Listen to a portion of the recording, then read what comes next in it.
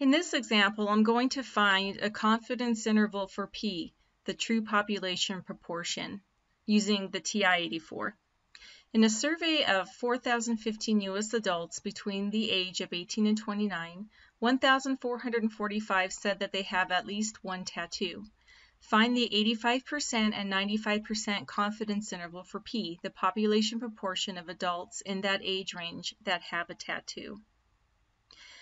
All right, so to get a confidence interval for proportion in your calculator, you want to go to your stat menu, right arrow over to tests, and you want to down arrow until you find the one proportion z interval.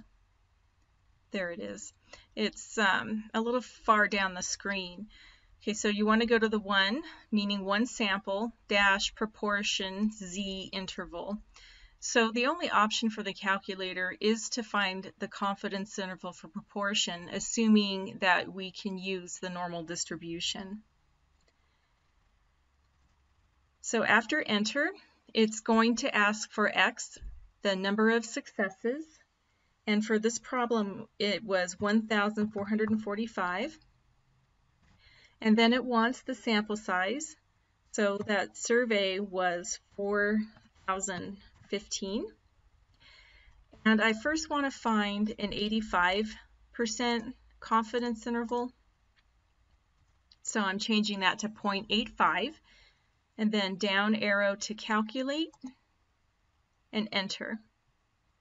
So rounding to three decimal places, the confidence interval, the 85% confidence interval goes from 0.349 up to 0.371. Or in terms of a percent, that would go from 34.9% up to 37.1%. To change this to a 95% confidence interval, you want to go back to your stat menu, go back to tests, and scroll down or you can scroll up. Sometimes it's quicker to scroll up to one proportion z interval and it saves the previous information. The only thing I need to change now is my level of confidence.